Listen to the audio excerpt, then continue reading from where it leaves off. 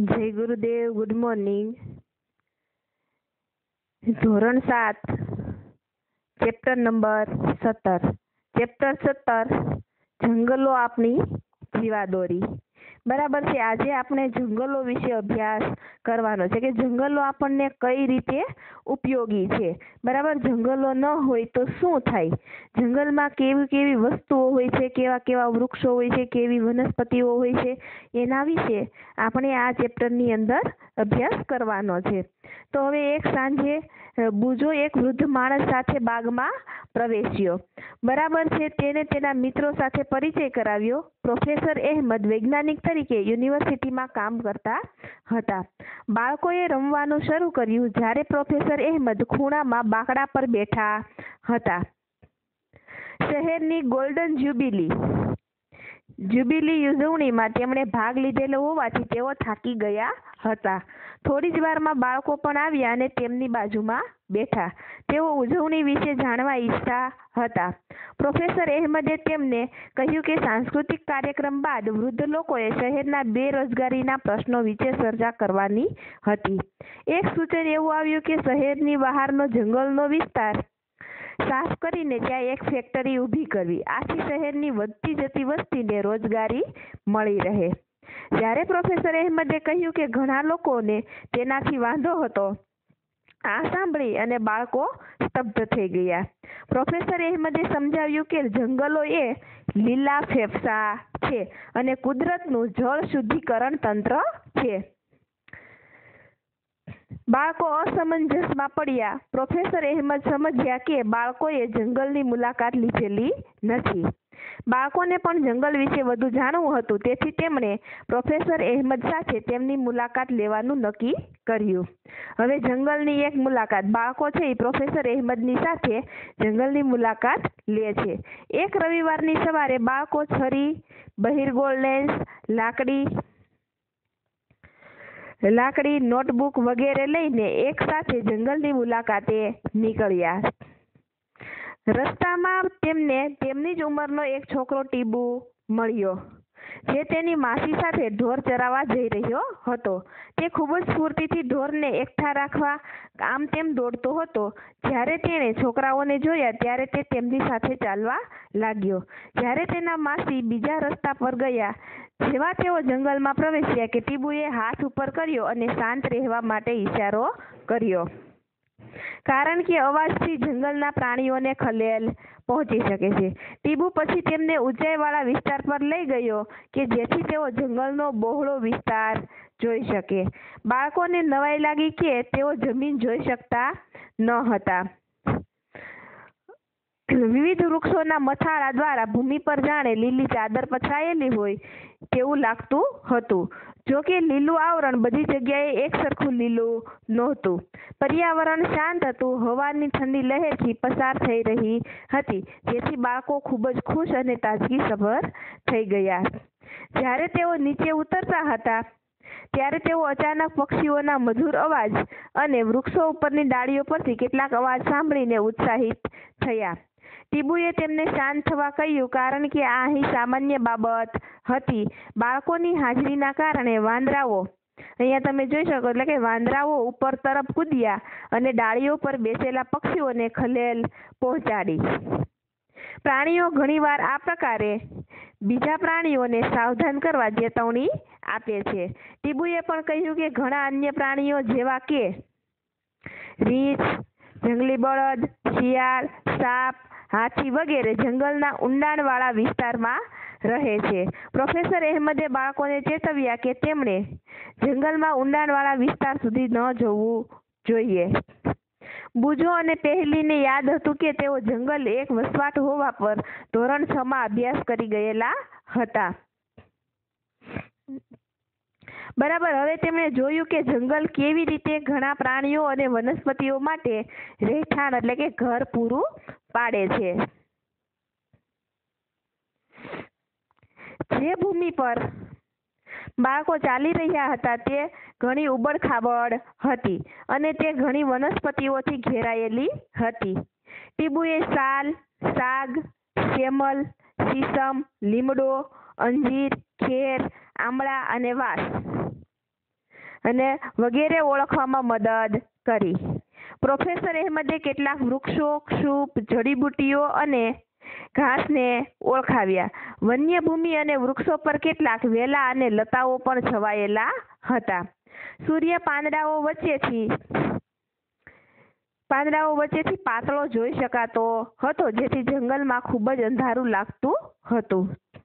હવે તમને અહીંયા એવું કહેવામાં આવે છે કે જંગલમાંથી આપણને કઈ કઈ વસ્તુઓ મળે છે? તો તમને ખબર છે કે બળતણ માટેનું લાકડું, ખોખા, પેપર, દિવાસળી, ફર્નિચર, ગુંદર, તેલ, મસાલા, ગુંદર, તેલ, મસાલા, પ્રાણીઓનો ખોરાક અને જડીબુટ્ટીઓ એ બધી જ છે, એ વન્ય પેદાશો છે. અહીંયા તમે જોઈ શકો છો કે ગુંદર, તેલ, મસાલા પ્રાણીઓનો ખોરાક અને જડીબુટ્ટીઓ, આ બધું વન્ય પેદાશો છે. વનસ્પતિમાંથી આપણે મળતી પેદાશોના આધારે આપણે તેનો ઉપયોગ કરી શકીએ છીએ. આ બધી વનસ્પતિઓ કોણે ઉગાડી હશે? બરાબર? હવે એક શીલાને એવો પ્રશ્ન થાય છે કે આ બધી વનસ્પતિઓ કોણે ઉગાડી હશે? તો પ્રોફેસર અહેમદે ઉત્તર આપ્યો કે કુદરતમાં વૃક્ષો પૂરતા પ્રમાણમાં બીજ ઉત્પન્ન કરે છે. જંગલોની ભૂમિ તેમને અંકુરિત થવા અને છોડમાં રૂપાંતરિત થવામાં તેની સાનુકૂળતા પૂરી પાડે છે. કેટલાક વૃક્ષોમાં પરિણમે છે. તેમણે ઉમેર્યું કે પ્રકાંડ ઉપરના ડાળીઓવાળા ભાગને જો અહીંયા તમે જોઈ શકો છો કે આ પ્રકાંડ, એની ઉપરનો જે આ ડાળીઓવાળો ભાગ છે, તેને મુગટ અથવા તો તાજ કહેવામાં આવે છે. મુગટ અથવા તો તાજ કહેવામાં આવે છે. પ્રોફેસર અહેમદે બાળકોને ઉપર જોવા કહ્યું અને જંગલોમાં ઊંચા વૃક્ષોની ડાળીઓ, નીચા વૃક્ષો પર છવાઈને કેવી છત્રછાયા પ્રદાન કરે છે તે જણાવ્યું. તેઓએ તેમને છાયા તરીકે ઓળખાય એટલે કે મોટા વૃક્ષો છે. બરાબર, એની નીચે જે છાયા પડે એને છાયા કહેવામાં આવે છે. હવે તમને કહેવામાં આવે છે કે તમારી આસપાસમાં કોઈ બગીચો હોય તો તેની મુલાકાત લો અને તેના ઊંચાઈ, પર્ણનો આકાર, મુગટ એટલે કે સાજ, પુષ્પો અને ફળો વિશે તમે એની જાણકારી મેળવો. પ્રોફેસર અહેમદે એવું નિર્દેશન કર્યું કે વૃક્ષોના મુગટ વિવિધ પ્રકારના કે વિવિધ કદના હોય છે. આ તમે જોઈ શકો છો, અહીંયા તમને ચિત્ર બતાવેલું છે કે વૃક્ષોના જે મુગટ છે, એના આકાર કેવા છે? તો કે વિવિધ પ્રકારના. એનું કદ પણ કેવું છે? તો કે વિવિધ પ્રકાર. જંગલમાં મુગટથી રચાતી જુદી જુદી આડી હરોળ જોવા મળે છે, જેને વાનસ્પતિક સમૂહો કહેવામાં આવે છે. વિશાળ અને લાંબા વૃક્ષો સૌથી ઉપરનું ક્ષુપ તેના પછીનું લાંબુ ઘાસ અને નાના છોડવાઓ સૌથી નીચેનું સ્તર બનાવે છે. શું આપણે દરેક જંગલમાં એક જ પ્રકારના વૃક્ષો જોઈએ છીએ? તો કે ના, પ્રોફેસર અહેમદે જણાવ્યું કે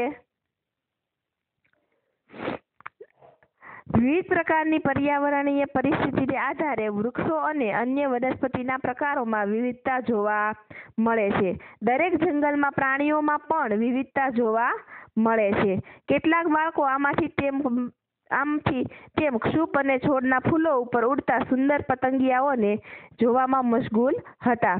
તેઓ છોડવાઓને ખૂબ જ નજીકથી જોતા હતા.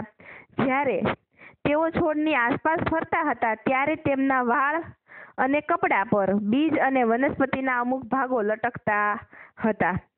તેઓએ ઘણા કીટકો કરોળિયાઓ, ખિસકોલીઓ, કીડીઓ, વનસ્પતિની છાલ પર ચોટેલા નાના પ્રાણીઓ, વૃક્ષોના પર્ણ અને તળિયા પર સડેલા પર્ણ પણ જોયા. તેમણે આ બધા પ્રાણીઓના ચિત્રો બનાવવાના શરૂ કરી દીધા. જંગલનું તળિયું, ઘેરા રંગનું મૃત અને સડેલા પર્ણો સડેલા પર્ણો, ફળો, બીજ, ડાળીઓ અને નાના છોડવાઓથી આવૃત હતું. સડેલા પદાર્થો ભેજવાળા અને સુફાળા હતા. બાળકોએ વિવિધ બીજ અને પર્ણો તેઓ માટે એકત્રિત કર્યા. મૃત પર્ણોના આવરણ પર ચાલતી વખતે નરમ ગાલીચા પર ચાલતા હોય તેવું લાગતું હતું. શું સડતો પદાર્થ હંમેશા ગરમ હોય છે? તો કે હા, સડતો પદાર્થ છે તે હંમેશા કેવો હોય છે? તો કે ગરમ હોય છે. ત્યાર પછી તમને કહેવામાં આવે છે, અહીં ઘણા વૃક્ષો છે, ઘણા જંગલો પણ છે. જો ફેક્ટરી બનાવવા માટે થોડાક વૃક્ષો કાપીએ, તો શું ફેર પડે? બરાબર, તો તમને ખ્યાલ છે કે ફેક્ટરી બનાવવા માટે થોડાક વૃક્ષો કાપીએ, તો આપણને ઘણો બધો ફેર પડે છે. પ્રોફેસર અહેમદે કહ્યું, તમે સ્વયંપોષી એટલે કે પોતાનો ખોરાક જાતે બનાવે તે પરપોષી એટલે કે બીજા ઉપર ખોરાકનો આધાર રાખતા હોય તેવા અને મૃતોપજીવી એટલે કે મૃત વનસ્પતિ પર રાખતા હોય એવું તમે વાંચ્યું જેવું આપણે છઠ્ઠા ધોરણની અંદર ભણી ગયા છીએ. વનસ્પતિ ખોરાક કેવી રીતે બનાવે છે તે પણ આપણે શીખી ગયા છીએ. બધા જ પ્રાણીઓ પછી તે શાકાહારી હોય કે માંસાહારી હોય, આખરે તે વનસ્પતિ પર જ નભે છે. વનસ્પતિ પર નભનારા સજીવો ઘણા ખરા ઘણા ખરા બીજા સજીવો દ્વારા ખોરાક તરીકે ઉપયોગમાં લેવાય છે. દાખલા તરીકે, અહીંયા તમે જોઈ શકો છો, બરાબર છે કે આ શું છે? આહાર શૃંખલા છે. બરાબર? આ આહાર શૃંખલા છે એટલે કે વનસ્પતિ ઉપર સીધી કે આડકતરી રીતે એકબીજા આધાર રાખે છે. ત્યાર પછી છે તો કે આહાર શૃંખલા રચાય છે. બરાબર? દાખલા તરીકે કીટકો છે. એ શું ખાય છે? તો કે ઘાસને ખાય છે. દેડકો કોને ખાય છે તો કે કીટકોને ખાય છે. સાપ કોને ખાય છે તો કે દેડકાને ખાય છે. અને બાજ છે એટલે કે સમડી છે એ કોને ખાય છે? તો કે સાપને ખાય છે. તો એટલે કે કેવા શું માગે છે? તો કે ઘાસ, કીટકો દેડકો સાપ, સમડી. જંગલમાં ઘણી આહાર શૃંખલાઓ જોવા મળે છે. બધી આહાર શૃંખલાઓ એકબીજા સાથે સંકળાયેલી હોય છે. જો આહાર શૃંખલામાં ખલેલ પડે તો તે અન્ય આહાર શૃંખલાને પણ અસર કરે છે. જંગલનો દરેક ભાગ અન્ય ભાગ પર આધારિત હોય છે. જેમ કે, જો આપણે એક હિસ્સો દૂર કરીએ, જેમ કે વૃક્ષો, તો બાકીના બધા જ હિસ્સાઓ પર અસર જોવા મળશે. પ્રોફેસર અહેમદે બાળકોને જમીન પરથી એક પર્ણ ઉઠાવીને બહિર્ગોળ લેન્સમાં, બહિર્ગોળ કાચમાં નિહાળવા માટે કહ્યું. જે અહીંયા તમે જોઈ શકો છો. તેમને તેમાં નાની ફૂગ, એટલે કે મશરૂમ, નાના જીવજંતુઓનું સૈન્ય, કીડીઓ અને ઢાલિયા જીવડાઓ જોવા મળ્યા. તેમને નવાઈ લાગી. આ સજીવો તેમાં કેવી રીતે જીવે છે?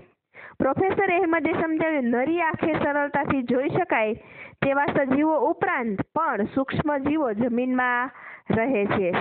ફૂગ અને સૂક્ષ્મ જીવો શું ખાય છે? તો કે ફૂગ અને સૂક્ષ્મજીવો મૃત વનસ્પતિ અને મૃત પ્રાણીઓની પેશીઓને ખાય છે. અને તેમને ઘેરા રંગના સેન્દ્રીય પદાર્થની અંદર ફેરવે છે અહીંયા તમે જોઈ શકો છો કે આ જે જીવજંતુ છે, બરાબર એ શું ખાય છે સૂક્ષ્મજીવો? તો કે મૃત વનસ્પતિ અને મૃત પ્રાણીઓની પેશી અને તે શેમાં ફેરવે છે? તો કે ઘેરા રંગના સેન્દ્રીય પદાર્થમાં ફેરવે છે. અને સેન્દ્રીય પદાર્થ વિશે આપણે નવમા પ્રકરણની અંદર વધારે જોઈ ગયા છીએ. સૂક્ષ્મજીવો કે જે મૃત વનસ્પતિ અને પ્રાણીઓને કાળા સેન્દ્રિય પદાર્થોમાં ફેરવે છે, તેને વિઘટકો કહેવામાં આવે છે. ફરી એકવાર સૂક્ષ્મજીવો કે જે મૃત વનસ્પતિ અને મૃત પ્રાણીઓની પેશીઓને કાળા સેન્દ્રિય પદાર્થમાં ફેરવે છે, તેને વિઘટકો કહેવામાં આવે છે. આ જ સૂક્ષ્મજીવો જંગલમાં ખૂબ જ મહત્વનો ભાગ ભજવે છે. ઝડપથી જમીન પર પડતા મૃત પાંદડા દૂર કર્યા અને તેઓની નીચે કાળી માટીનું સ્તર જોવાનું ચાલુ કર્યું. પ્રાણીઓ પોષક ઘટકો મુક્ત થયેલ છે. અહીંથી આ પોષક તત્વો ફરીથી વનસ્પતિ દ્વારા શોષાય છે. જો કેવી રીતે આખું પોષક તત્વ ચક્ર તમને બતાવેલું છે? કઈ રીતે છે? તો કે જમીન પરના, જમીનમાં પોષક તત્વો ફરીથી વનસ્પતિ દ્વારા શોષાય છે. હવે અહીંયા જે વનસ્પતિ છે, બરાબર છે? એ શું કરે છે? તો કે બાષ્પોત્સર્જનની ક્રિયા દ્વારા અથવા તો તેના જે હોય તે મૃત વનસ્પતિ અને પ્રાણીઓ, તે પાછા ક્યાં તો કે વિઘટકો મૃત વનસ્પતિ અને પ્રાણીઓને સેન્દ્રિય પદાર્થમાં ફેરવે છે અને એ પાછું શું કરે છે? તો કે વનસ્પતિ મેળવે છે. આ પોષક તત્વો ફરીથી વનસ્પતિ દ્વારા શોષાય છે. જો પ્રાણી જંગલમાં મૃત્યુ પામે, તો શું થાય છે? પ્રાણી જંગલમાં મૃત્યુ પામે, તો શું થાય છે? તો કે મૃત પ્રાણીઓ ગીધ, કાગડા, શિયાળ અને જીવજંતુઓનો ખોરાક બને છે અને આ રીતે પોષક તત્વો ચક્રમાં ફરતા રહે છે. આથી જંગલોમાં કશું નકામું જતું નથી. પહેલીએ પ્રોફેસર અહેમદને યાદ કરાવડાવ્યું કે તેમણે જંગલોને લીલા ફેફસા કીધેલા હતા. બરાબર શા માટે જંગલોને લીલા ફેફસા કહેવામાં આવે છે. તો તમને ખ્યાલ છે કે વનસ્પતિઓ પ્રકાશ સંશ્લેષણ દ્વારા ઓક્સિજન આપે છે. પ્રાણીઓ શ્વસન માટે આ ઓક્સિજનનો ઉપયોગ કરે છે. વૃક્ષો વાતાવરણમાં ઓક્સિજન અને કાર્બન ડાયોક્સાઇડનું સંતુલન જાળવે છે. આથી જંગલોને લીલા ફેફસા કહેવામાં આવે છે. બાળકોએ આકાશમાં વાદળો બનતા જોયા. બુજોને યાદ આવ્યું કે તેણે ધોરણ છ ની અંદર આપણે જળચક્રનો અભ્યાસ પણ કરેલો હતો. હવે શું થાય છે તો કે ટીબુએ કે જંગલો માત્ર વનસ્પતિ અને પ્રાણીઓનું જ ઘર નથી, તેમાં ઘણા લોકો પણ રહે છે. તેમાંના ઘણા જુદી જુદી જાતિના પણ છે. આ લોકો મહદઅંશે જંગલો પર આધાર રાખે છે. જંગલો તેમને ખોરાક રહેઠાણ પાણી અને દવાઓ પૂરી પાડે છે. તેઓ પાસે ઘણી બધી જડીબુટ્ટીઓનું પરંપરાગત જ્ઞાન પણ હોય છે. જ્યારે બુજો નાના ઝરણામાંથી પાણી પી રહ્યો હતો, ત્યારે તેણે કેટલાક હરણાઓને ઝરણું પાર કરતા જોયા. તેઓ ગીચ ઝાડીઓમાં અદ્રશ્ય થઈ ગયા. ગીચ ઝાડીઓ અને ઊંચું ઘાસ. પ્રાણીઓને ખોરાક અને રહેઠાણ પૂરું પાડે છે. તે જંગલમાં રહેતા માંસાહારીઓથી પણ તેમને બચાવે છે. ટીબુએ ધીમેથી જંગલના તળિયે જોયું. તેણે બાળકોને બોલાવ્યા અને કેટલાક પ્રાણીના મળ બતાવ્યા. તેણે જુદા જુદા પ્રાણીઓના મળનો તફાવત સમજાવ્યો. પ્રોફેસર અહેમદે સૂચવ્યું કે, જંગલના અધિકારીઓ કેટલાક પ્રાણીઓની હાજરી તેમના મળ અને પગલાના નિશાનથી આ છે મળ અને પગલાંના નિશાનથી ઓળખી શકે છે. બુજોએ બધાને બોલાવ્યા અને એક મોટો પ્રાણી મળનો સડેલો. અહીંયા તમે જોઈ શકો છો, બરાબર છે? ઢગલો બતાવ્યો, તેમાંથી કેટલાક ઢાલિયા જીવડા અને ઈયળો ખોરાક મેળવતા હતા અને તેમાંથી બીજ બીજાંકુરિત વિકસી રહ્યા હતા. જે જુદા જુદા છોડ અને ક્ષુપના હતા. પ્રાણીઓ પણ કેટલીક વનસ્પતિના બીજના ફેલાવા માટે અગત્યનો ભાગ ભજવે છે. જે જંગલની વૃદ્ધિ અને પુનર્વિકાસ માટે જરૂરી છે. પ્રાણીઓનો સડી ગયેલો મળ પણ બીજાંકુરિતને પોષણ પૂરું પાડે છે. આ સાંભળીને બુજોએ તેની નોંધપોથીમાં નોંધ્યું કે વનસ્પતિની વિવિધ જાતિઓને વિકસાવવાથી તૃણાહારીઓને ખોરાક અને રહેઠાણ માટેની બહોળી તકો મળી રહે છે. પ્રાણીઓની વિવિધતા જંગલમાં વૃદ્ધિ અને પુનર્વિકાસ માટે જરૂરી છે. તૃણાહારીઓની વધુ સંખ્યા એટલે માંસાહારીઓ માટે ખોરાકનો વધુ જથ્થો. પ્રાણીઓની વિવિધતા જંગલના વૃદ્ધિ અને પુનર્વિકાસ માટે જરૂરી છે. વિઘટકો પોષક તત્વોનો પુરવઠો જંગલના વૃક્ષોને પૂરો પાડવામાં સહાય કરે છે. તેથી જંગલો એક ગતિશીલ જૈવિક અસ્તિત્વ જીવનથી ભરપૂર છે. બપોર થવા આવી અને બાળકોને પાછા જવું હતું, ટીબુએ પાછા જવા માટે બીજો રસ્તો બતાવ્યો. જ્યારે તેઓ પાછા જઈ રહ્યા હતા, ત્યારે વરસાદ વરસવાનું શરૂ થઈ ગયું. જો કે તેમણે જોયું કે વરસાદના ટીપા સીધા જંગલના તળિયે અથડાતા ન હતા. જંગલનો સૌથી ઉપરનો વિસ્તાર છત્રછાયા આપણે જે જોયું હતું, વરસાદના પ્રવાહને રોકીને રાખે છે અને મોટાભાગનું પાણી ડાળીઓ અને વૃક્ષોના પ્રકાર દ્વારા નીચે આવે છે. ડાળીઓ પરથી સૂપ અને છોડવા પર પાણી ટપકે છે. જમીન હજી સૂકી હતી. મૃત પર્ણોનું ભોયતળિયા પરનું સ્તર હવે ભીનું લાગતું હતું, પરંતુ જંગલમાં પાણી સ્થિર નહોતું. જો શહેરમાં આટલો ભારે વરસાદ પડ્યો હોય, તો ત્યાં પૂર આવી ગયું હોત. જંગલો વરસાદી પાણીના કુદરતી શોષકો છે. તેઓ જમીનમાં સમગ્ર વર્ષ દરમિયાન જળ સપાટી જાળવી રાખવામાં મદદ કરે છે. જંગલો માત્ર પૂરને અટકાવવાનું નહીં, પરંતુ ઝરણાઓમાં પાણીના પ્રવાહનું નિયંત્રણ કરવાનું પણ કાર્ય કરે છે, જેથી આપણને સ્થિર પાણીનો પુરવઠો મળી રહે છે. બીજી તરફ, જો વૃક્ષો ન હોય, તો વરસાદ સીધો જમીન પર પડે છે અને નજીકના વિસ્તારમાં પૂર આવી શકે છે. ભારે વરસાદ જમીનને પણ નુકસાન પહોંચાડે છે. વૃક્ષોના મૂળ સામાન્ય રીતે જમીનને જકડી રાખે છે, પરંતુ તેમની ગેરહાજરી જમીનનું ધોવાણ કરે છે. બાળકોએ પાછા ફરતા ટીબુના ગામમાં એક કલાક પસાર કર્યો. ગામનું વાતાવરણ ખૂબ જ ખુશનુમા હતું.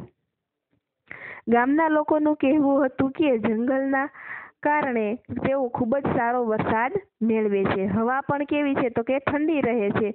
અવાજનું પ્રદૂષણ પણ ઓછું હોય છે કારણ કે જંગલો આજુબાજુના હાઈવેનો અવાજને શોષી લે છે. હવે બાળકોએ ગામના ઇતિહાસ વિશે જોયું. ગામ અને કૃષિ ક્ષેત્રો સાઠ વર્ષ પહેલા જંગલોનો કેટલોક ભાગ સાફ કરીને બનાવવામાં આવ્યા હતા. ટીબુના દાદાએ તેમને કહ્યું કે તેઓ જ્યારે નાના હતા, ત્યારે ગામ અત્યારે જેટલું મોટું છે તેટલું મોટું ન હતું તે જંગલોથી ઘેરાયેલું હતું. રોડના અને બહુમાળી મકાનોના બાંધકામ, ઔદ્યોગિક વિકાસ અને લાકડાની માંગને કારણે જંગલો પર દબાણ આવે છે અને તે નષ્ટ પામતા જાય છે. તે આ વાતથી ખુશ નથી કે જંગલોનું પુનઃસર્જન નથી થઈ રહ્યું અને વધુ પડતા પ્રાણીઓના ઝારાને લીધે વૃક્ષોને કાપી નંખાય છે. જો આપણે ડહાપણથી કામ લઈશું તો જંગલો અને પર્યાવરણને પણ સાચવી શકીશું તથા વિકાસ પણ થઈ શકશે. પ્રોફેસર અહેમદે બાળકોને જંગલના મહત્વ વિશે પૂછ્યું. બાળકોએ લખ્યું કે જંગલો ઓક્સિજન આપે છે, તેઓ જમીનને બચાવે છે અને વિશાળ વર્ગના પ્રાણીઓને રહેઠાણ પૂરું પાડે છે. જંગલો નજીકના વિસ્તારમાં સારો વરસાદ લાવવામાં મદદરૂપ છે. તેઓ ઔષધીય વનસ્પતિઓ, લાકડું અને ઘણી ઉપયોગી પેદાશો માટેનો સ્ત્રોત છે. આપણે જંગલોની જાળવણી કરવી જોઈએ. જો જંગલો અદ્રશ્ય થઈ જાય, તો હવામાં કાર્બન ડાયોક્સાઇડ વાયુનું પ્રમાણ વધી જાય છે. પરિણામે સ્વરૂપે પૃથ્વીનું તાપમાન વધે છે. વૃક્ષો અને વનસ્પતિ વિના પ્રાણીઓને ખોરાક અને રહેઠાણ ન મળે. વૃક્ષોની ગેરહાજરીમાં જમીન જલધારક શક્તિ ગુમાવે છે, જેથી પૂર આવી શકે છે. વન નાબૂદી આપણા જીવનને અને પર્યાવરણને ભયજનક સ્થિતિમાં મૂકે છે. હવે આપણે જોઈએ ટૂંકમાં કે આપણે આ ચેપ્ટરની અંદર શું ભણ્યા તો કે આપણે જંગલોમાંથી ઘણી પેદાશો મેળવીએ છીએ. જંગલો વિવિધ વનસ્પતિ, પ્રાણીઓ, સૂક્ષ્મજીવો ધરાવતું તંત્ર છે. જંગલોમાં સૌથી ઉપરનું સ્તર વૃક્ષો દ્વારા તેની નીચે ક્ષુપ અને સૌથી નીચે છોડવાઓ દ્વારા બનાવવામાં આવે છે. જુદા જુદા પ્રકારના વાનસ્પતિક સ્તરો પ્રાણીઓ, પક્ષીઓ અને કીટકોને ખોરાક અને રહેઠાણ પૂરું પાડે છે. જંગલોના જુદા જુદા ઘટકો એકબીજા પર આધારિત છે. જંગલોના વધતા અને બદલાતા રહે છે. અને પુનઃસર્જન પામતા રહે છે. જંગલોમાં જમીન, પાણી, હવા અને સજીવો વચ્ચે આંતરિક ક્રિયાઓ જોવા મળે છે. જંગલો જમીનને ધોવાણથી અટકાવે છે. જમીન જંગલોની વૃદ્ધિ અને પુનઃસર્જનમાં મદદરૂપ છે. જંગલોએ તેના પર નભતા સમુદાયોની જીવાદોરી છે. જંગલો વાતાવરણ, જળચક્ર અને હવાની ગુણવત્તાને અસર કરે છે. આ સાથે આપણું ચેપ્ટર અહીંયા પૂરું થાય છે. જય ગુરુદેવ. Thank you